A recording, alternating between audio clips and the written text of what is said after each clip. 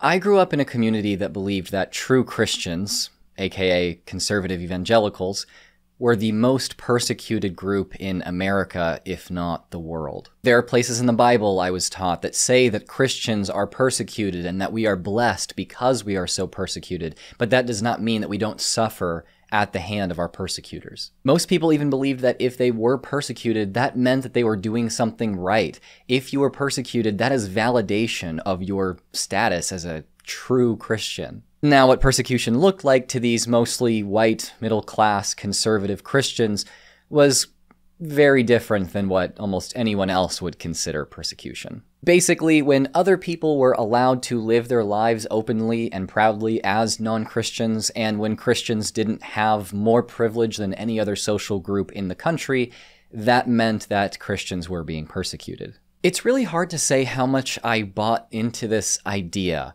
I was also taught that I was incredibly lucky, incredibly privileged to be born in America and to be born into a Christian family. There was really no better lot in life than the one that I was handed. So, on one hand, I felt very lucky to be raised the way that I was and very privileged to be in the position that I was born into, but also felt like maybe somewhere out there people are trying to get at me. Maybe I'm going to be in danger if I step outside my Christian bubble. My life day to day growing up as a Christian didn't feel like the life of someone who was persecuted at every turn, and yet I was told that I was.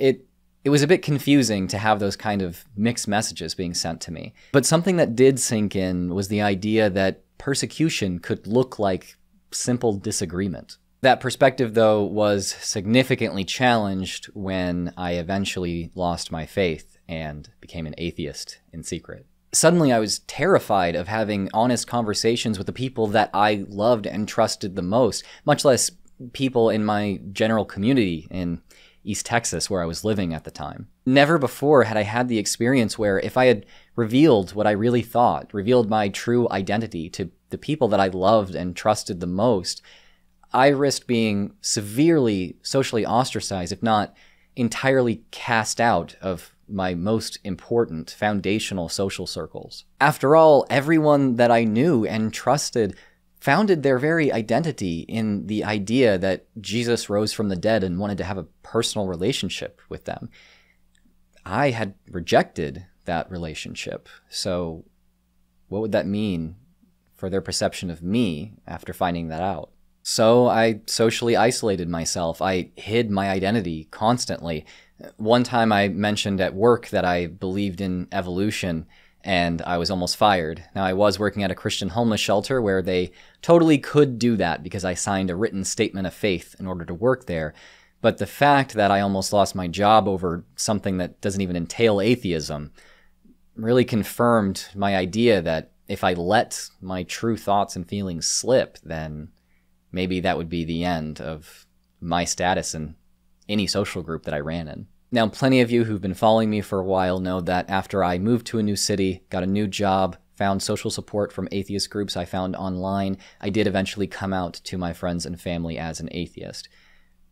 Some of the responses were really not great, and some of them were a lot better than I expected.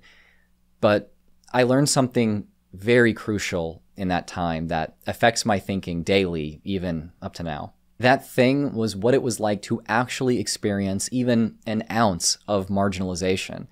Before becoming an atheist, I really did not know what it was like to be ostracized, to have people have unfair biases against me just because of what I think, what I believe, what I look like, etc. I remember thinking back at that time, if this is what it's like to be a kind of marginalized minority that can hide their minority status pretty easily. What is it like to be a marginalized minority that can't? What if I was trans? What if I was black? It made me have more compassion and empathy for those who have experienced marginalization than I was ever even capable of having before. So, in this way, becoming an atheist might have been the single most important formative experience on my perspective of issues of social justice, namely that they're important and require constant effort even now. When I've shared this perspective of mine in the past, I've had some Christians and even some atheists say that no, marginalization is not a real thing that atheists actually have to deal with. There aren't any atheists that are really socially ostracized in the US. I'm just playing the victim for, for views, apparently. To those people, I say, you don't have to take my word for it because there's actual data to support the idea that atheists might be one of the most socially ostracized groups in the United States. Today, we're going to take a look at some of that data and speak with a social scientist who compiled it. My name is Dr. Ryan Burge. Uh, I hold a PhD in political science from Southern Illinois University. Uh, I am a scholar of religion and politics, especially in the American context. I've published about 30 articles and book chapters in peer reviewed outlets uh, about religion and politics and the measurement of one or the other. Um, I've written several books, including The Nones, Uh, first edition and then second edition just came out. A book called 20 Myths About Religion and Politics in America. And uh, I have a book coming out in August called The Great Dechurching with Jim Davis and Michael Graham, which are two pastors. Uh, speaking of pastors, I'm also a pastor. I've been a pastor in the American Baptist Church uh, for basically my entire adult life three years as a youth pastor, and then um, 16 years as the senior pastor uh, of First Baptist Church of Mount Vernon, Illinois. Uh, I've been married. Uh, my wife and I got married in 2007, and we have two boys who are 11 and 9. You wrote an article recently on your Substack, right? Graphsaboutreligion.com. Graphsaboutreligion.com. The article is titled Just How Much Do Americans Dislike Atheists? Now, some of my viewers might be like, wow, I've never heard a pastor say that atheists might actually be disliked rather than that they're they're they're ruling the US, you know. And and you you open up this article talking about how there are some narratives about evangelicals being the most persecuted uh, group in America. I was personally taught that. Sounds like you were taught that. But you think that the data maybe makes a more complicated uh, statement than than that narrative? Is that accurate? I mean, I'm always obsessed with persecution narratives. You see it on the left and on the right, right? Like, oh, the right always thinks the left hates us or trying to censor us, and the left thinks the right's trying to censor them. You know, it's everyone always tries to look for instances of persecution because it like means you're doing the right thing, quote unquote. And I think that in religion, like it that is just like ground zero for finding persecution narratives.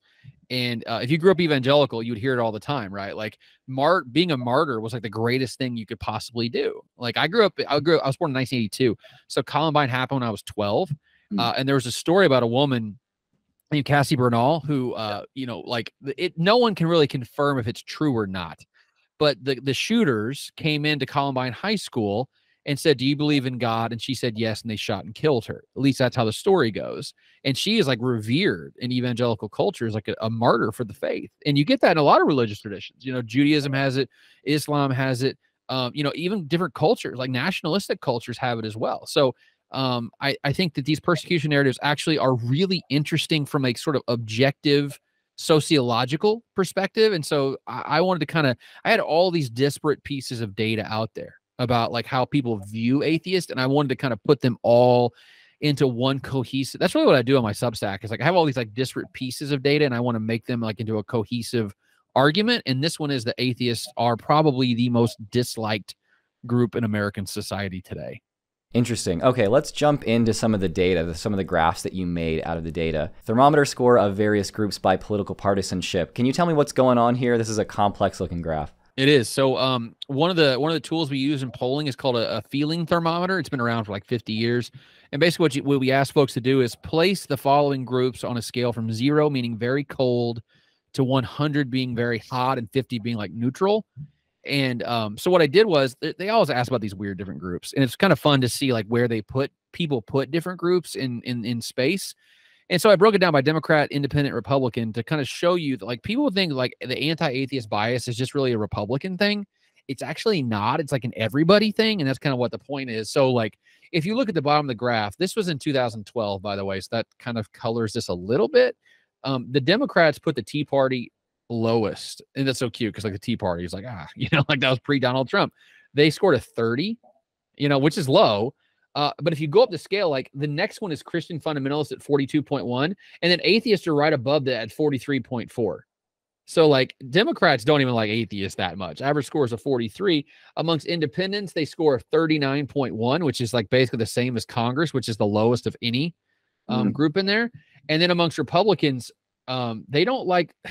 I love how here's the three most hated groups by Republicans: liberals at 31.7, the federal government at 32.8, and then atheists at 33. So, like, Republicans hate atheists as much as they hate the federal government and liberals. Um, but I really just wanted to show people like how much and if you look at like the groups that people like like christians score really well amongst republicans. They score like a 78 so you know there's definitely on the right even amongst democrats christians do relatively well. They score a 68 amongst democrats. So christians are liked kind of universally and atheists are sort of disliked universally on the left right and center of, of the political spectrum. So it's not just a partisan thing it seems like when you break down Christian into smaller groups, though, like say Catholic, Mormon, uh, that score goes down. When you say the word Christian, it seems like that's the most positive uh, word to use, the the word that people have the most positive things associated with, and, and then rank highly. Is that? Would you say that's right? Yeah, and that's just because like Christians is like I'm a Christian. You know, it's like a generic sort of like you can like uh, you can be a, a mainline Christian or a, a Catholic or a, you know what I mean. Like it's just so like amorphous; it doesn't really mean anything. And I think that's why it scores so high. Because also the other thing is people like what they are. You know what I mean? Like very few people are self-hating. Like I'm a Christian and I hate Christians. No one says that. So like yeah. that's why they do well across the board. I mean, th- they're not doing as well as like working class people, though. Notice that like working class people score higher than Christians do. Right. Um, actually I always love to look at these and go, if I was going to run for president, like how would I hit all these things the right way? Like I love working class people and I love middle class people and I love Christians and I like the military a lot. Okay, everyone's with me. You know, like that's how you win an election. you see a lot of that throughout throughout uh, like all of American history or maybe especially in the 20th century populism works on the left and the right now, right? Like everybody's like, I'm for the working man and all that. And Biden's even talking about Bidenomics, right? From the middle out and all this stuff. I mean, I think there's still, no matter what, we're still going to be a, a, a, country that loves the working class, like the underdog, the person who grew up without anything. Like that's the kind of person we love. When it comes to religion, though, I think that this is in 2012. I wonder if we did this again, if it would look the same. Like I think Christianity would probably go mm-hmm. down the list a little bit for Democrats, and atheists would go up. I'm not saying that atheists would get universally loved, but I think they'd probably score a little bit higher because they've grown significantly as a share of the population in the last 10 years. And you don't have that many self-hating atheists. So that would probably raise it just by by natural, you know, progression that way. Okay, now the next graph was particularly interesting to me because um, let's just say that it has uh, some personal meaning to me. Share saying that they would be unhappy if a member of their immediate family married either a born again Christian or someone who doesn't believe in God. Can you can you break down the results here?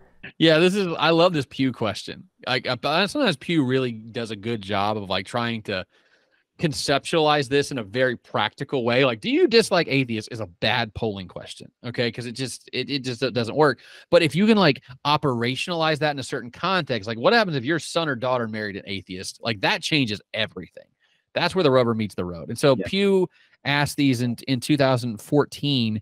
And, and the one thing I want to point out to start with is overall, only 9% of Americans say they would be unhappy if their kid, someone in their family, which is basically, let's say their kid, um, married a born again Christian. Only 9% would be unhappy if their family member married a born again Christian. It's 49% would be unhappy if they married a person who doesn't believe in God.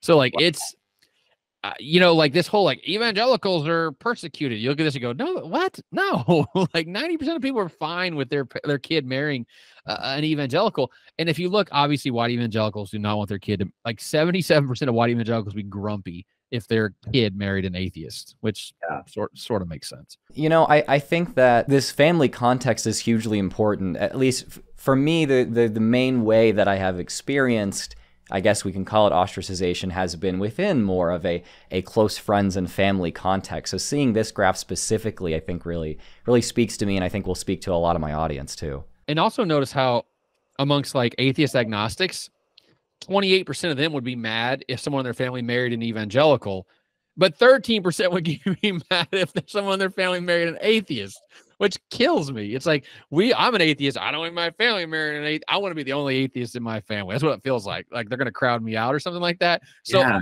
it's like it's not symmetrical. You know what I mean? Like the the the the, the, animus is not e- even both directions.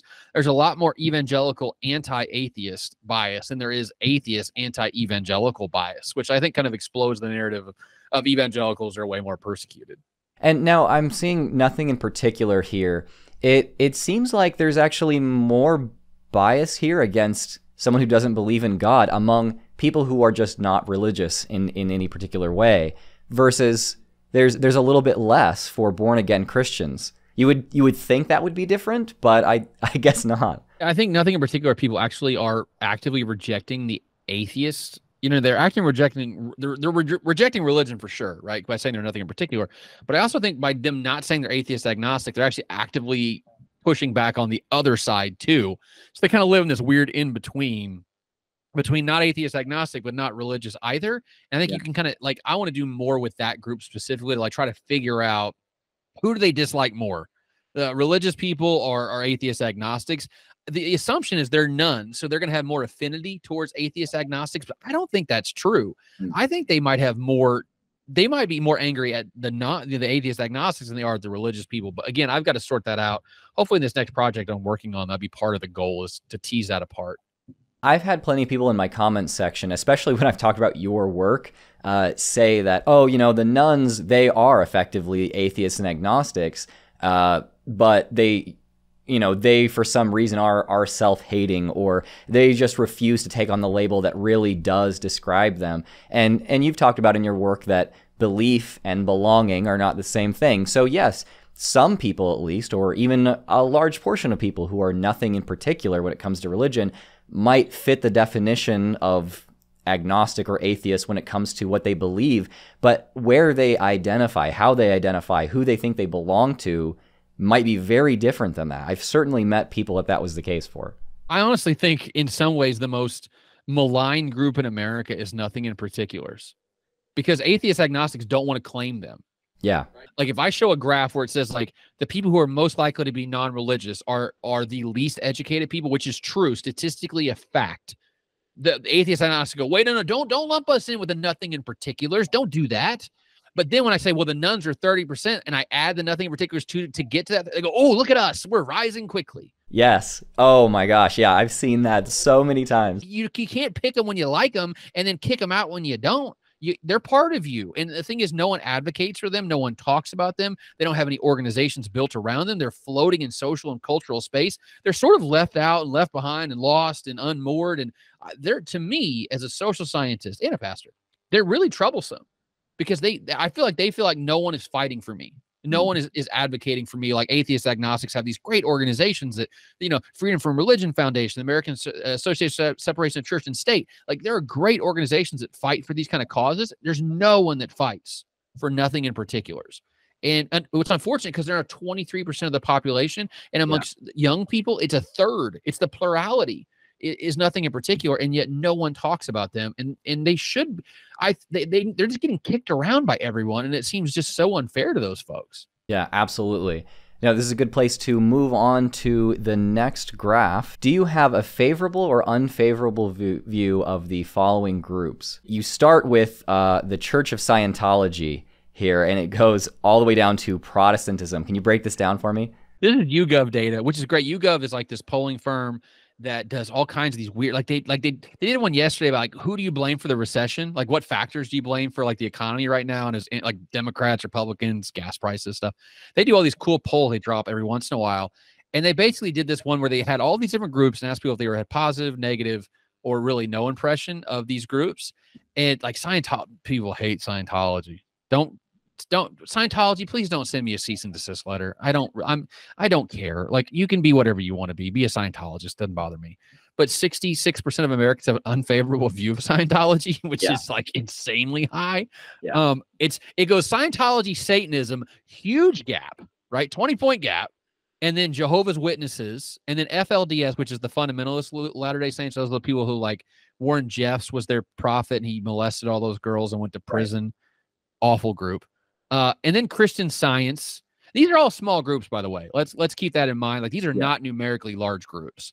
Um, and then Islam is next. So that's a large group. That's like 1% of America. So that's that's 43% unfavorable. And then look at this. LDS is right below that. Not Yeah. FLDS, like the mainstream Mormon church is not very well liked. And then it goes Wicca at 40% unfavorable, and then atheism at 38% Mm. unfavorable. It is the lar- of those groups that are above it, atheism is larger than all those groups. Yeah. Okay. So it's really the most disliked large quote unquote religious group in America. And then agnostics are further down at, at 28% unfavorable, which puts them right around Pentecostals, which is weird. It's like, what do they do to you? And um the Falun Gong, which is like this weird fringe like movement that most people don't even understand. Yeah. So, um, yeah. So a- atheists score pretty darn high on the unfavorable metric uh, around some company that is not well liked. You know. Yeah, definitely. But I want to point one thing out is that you're you're seeing a really large portion of people being pretty indifferent. Uh, 39% of people seem rather indifferent about about atheism. That's a great point. I think the, the, the general public's um, uh, common view on these questions is live and let live, Mhm. right? Like, I think, honest to God, when it comes to religion, most Americans are like, hey, whatever works for you is cool with me. Just keep it to yourself, you Yeah. know? And I think that's what you see is like in a lot of these, like the, the middle response, which is like neither favorable nor unfavorable, runs like 40, 50%. Yeah. So uh, the general the general sense here is you get there's some groups that are really not liked. And there's some groups where it's like, eh, but the majority view in America is like a big shrug of the shoulders for for most groups. So I don't think there's like active, you know, there's not a ton of like active hate towards atheists. And I couldn't, I, I don't have the raw data for this survey, but I bet you dollars and cents if you pulled out the evangelicals, the unfavorables for atheists would drop dramatically. You know, Mm. probably in the teens, I would bet. You go on to discuss that exact point. Let's take a look at this one. What is your personal attitude toward members of the following religious groups? This is General Social Survey, which is like the the, the Rolls Royce of, of of of survey data. It's done since 1972, and they kind of they added this question randomly. I don't really know why they just do stuff like this sometimes. But the question is, what is your personal attitude towards members of the following religious group? And this is atheists. I Mhm. mean, amongst Democrats, it's it's 34% positive, 23% negative, and then 43% neutral. So let's like plus 11. That ain't bad. Biden's not plus 11 right now. Biden's like negative eight, I think. Um, amongst independents, it's zero, 24 f- positive, 24 negative, 52 neither. So like right in the middle, right? So no, no feelings there. And even amongst Republicans, it's only 34% negative and 23% positive. It's actually a mirror image of the Democrats, right? So they're 23 34. The, the Republicans are 23 or 34 23. So like they basically offset each other uh, in the grand scheme of things. But even amongst Republicans, it's only one third of Republicans who have an unfavorable or a negative view of atheists in 2018. That ain't that ain't terrible. You know, like it's not good, certainly, but it's not the worst thing in the world. Yeah, so we're we don't seem to be talking about massive swaths of people that absolutely hate atheists, think that they're horribly immoral and really should just be completely eradicated from public life. We're talking about a small minority of people who dislike atheists, and then with plenty of people who are a part of those people's same group saying, "I don't, I don't really care either way." Is that right? unfortunately, the human mind is not well equipped to understand statistics. We're we're we're, we're primed for story. Mm. You know, like uh, the example I always give is when they had the rollout of the COVID vaccine, right? And they were giving out millions of shots a day, like nationwide. You would hear like this one story about this one guy in Florida who got the COVID shot, and six hours later he was dead. We're like, oh god, the COVID shot. You don't hear about the planes that land safely. And in those days, like millions of planes were landing safely every day as people were getting the COVID shot and not getting COVID. You know, so you might have a one instance, right, where someone is, is discriminated against because of their race or their gender or their belief system or, or lack of belief system, whatever it is. But the data says overall that is an outlier event. And that is not indicative of the general consensus about Americans and their view of atheists. All right, let's move on to. I believe this is the final graph here. Yeah, last graph. It is necessary to believe in God in order to be a moral person, have good values. Uh, this is starting with evangelical Christians. Let's go through this. Yeah, evangelicals are the only group where clearly a majority says you have to believe in God to be a moral person and have good values. 70% of evangelicals believe that. Amongst Catholics, it's 48%, which is basically like half. You know, statistically, it's half. And then the entire sample average was 41%. So you put five people in a room, and only two people out of five believe that you have to believe in God in order to be moral and have good values. So Yeah. three out of five don't believe that. So, you know, like I started this by saying, like, look how discriminated atheists are. And then I kind of give you data that says, yeah, they are, but like it's not as bad as you think it is. The average American's not walking around going, you're going to hell because you don't believe in God. They're like, uh, I believe in God and I think God's cool. But if you don't, you're probably okay. You know, that's not the, the predominant view is very much sort of a laissez faire libertarian view of, of, of atheists. Uh, by the way, I love the fact that 4% of atheists think that you have to be, you have to believe in God. This is something actually like, it's actually a good point. The more you look at data, if that number was zero, I'd be very suspicious Mm. because there's always like wiggle. There's like slop in data all the time, and it never lines up like perfectly. If it does, that's good evidence that your data's cooked, right? Like that it's been manipulated um, improperly. Yeah. So when you have a little little like play in it like that, that makes me go, okay, that's good data because there's there's stuff in it that makes no like logical sense because the uh, a share of the American public makes no logical sense. Right. Yeah. People can can fill out a question wrongly or misunderstand it, or just have a, an opinion that is very different than something you might predict. Right. and that's okay. Like that's what we want to see. To me, it's actually a validity check more than like, oh, that's so stupid. Like I sometimes I post graphs like this, go look at that idiot over there believes this thing. I go, uh, listen, that's actually a good thing, man. Like that's showing us that the data actually works. Check my check my claim here. I want to run this by you. It seems like there's not a significant enough number of people just generally in America that say that atheists are immoral to say that atheists generally in, you know, day to day are going to be discriminated against, they're going to get kicked out of stores, they're going to, you know, they're probably not going to experience persecution on a day-to-day basis in the way that certain minority groups might have in like you know Jim Crow era, right? It's it's not the same thing.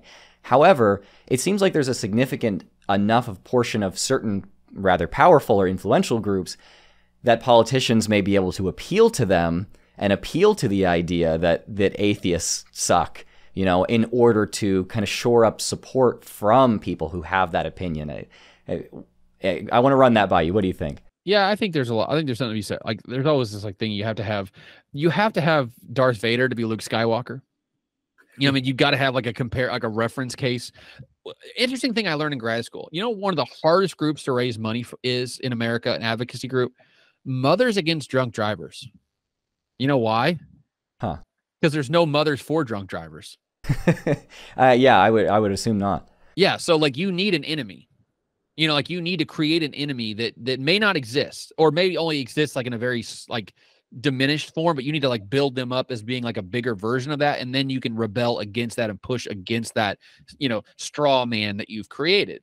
And I think for a lot of Republicans, atheists are that thing that they've created. Now, they're the, the other part of this, though, like the other side of the coin is they're actually growing. Like about 6% of Americans today identify as atheists. It was 3% in 2008. So it's absolutely growing. It's actually not growing that much in the last five years, though, which I think is interesting. I think we're hitting like a cap. Even amongst the youngest Americans, only like seven or 8% are atheists. So it's not like there's like this huge oncoming wave of atheists, but they are growing.